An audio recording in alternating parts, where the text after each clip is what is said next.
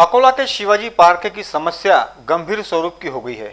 बावजूद इसके महानगर पालिका और जनप्रतिनिधि इस ओर ध्यान नहीं दे रहे हैं, जिसे लेकर अब उग्र आंदोलन करने के संकेत दिए गए हैं।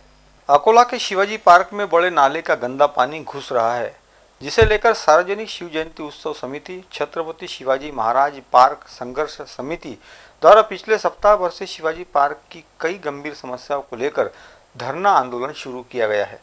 बावजूद इसके महानगर पालिका प्रशासन समेत स्थानीय पार्षद इस ओर ध्यान तक देने के लिए तैयार नज़र नहीं आ रहे हैं। शहर के प्रमुख नाले की गंदगी और गंदा पानी शिवाजी पार्क में स्थित छत्रपति श्री शिवाजी महाराज के अश्वारूढ़ पुतले तक पहुँच रहा है। इस पार्क की दुरावस्था को लेकर कोई भी इस ओर ध्यान ही नहीं दे रहा है।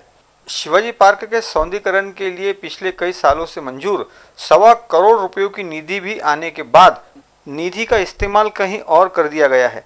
छत्रपति श्री शिवाजी महाराज की प्रतिमा तक आ रहे नाले की गंदगी को लेकर अब ठोस कदम न उठाए गए तो उग्र आंदोलन करने के संकेत समिति के पवन मोहल्ले ने सिटी न्यूज से बोलते हुए दिए हैं। एक वर्षापासून शिवाजी पार्कचा हा मुद्दा तसाच रखडलेला आहे. आम्ही चार ते पाच दिवस झाले धरणे आंदोलनावर बसलेलो आहे. तरी पण शासनाचा जाग काही उठ जागून नाही राहिला. इथले अधिकारी भ्रष्ट अधिकारी या नाला पाहून घ्या तुम्ही यांचा जाग अजून नाही उघडून राहिला आम्ही चार पाच दिवसापासून बोंबलून राहिलो. शांततेत धरण्यावर बसून राहिलो तरी पण यांची जाग उठ उठून नाही राहिले ते त्यांना काही समजून नाही राहिलं.